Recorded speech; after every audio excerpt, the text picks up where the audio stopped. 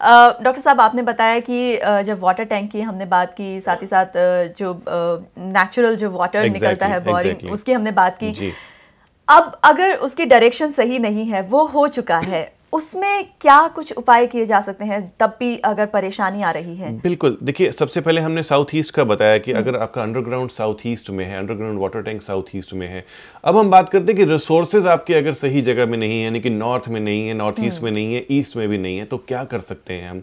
हम सबसे पहले उसी दिशा का एक उपाय करेंगे। सपोज़ आपका वाटर जो रिसोर्स है वह साउथ की डायरेक्शन में आ जाता है तो साउथ में आपने रेड कलर करवाना है। अगर वहाँ पे टेराकोटा रेड करवाएँगे तो ज़्यादा अच्छा रहेगा। अपने मंदिर में आपने भगवान पंचमुखी हनुमान की एक तस्वीर रखनी है। इससे ओवरऑल जो एनर्जीज हैं वहाँ की, क्योंकि अग्नि तत्व फायर एलिमेंट उस जगह का डिस्टर्ब हो रहा है जहाँ पे आपने अपना वाटर रिसोर्स दे दिया। साउथ और साउथ ईस्ट एक फायर एलिमेंट एरिया है और यहाँ पे अगर आप वाटर एलिमेंट दे देंगे तो both the elements with will clash with each other and आपके घर में पीस एंड प्रॉस्पेरिटी नहीं आ पाएगी।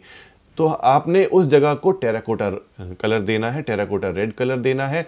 वहाँ पे शाम के समय आपने एक दीपक जलाना है और कार्नेलियन स्टोन्स यूज़ करने हैं because carnelian stones red colour के होते हैं और बहुत ही फायरी एनर्जी लिए हुए होते हैं और वाटर की एनर्जी को वहाँ पे सप्रेस कर देते हैं।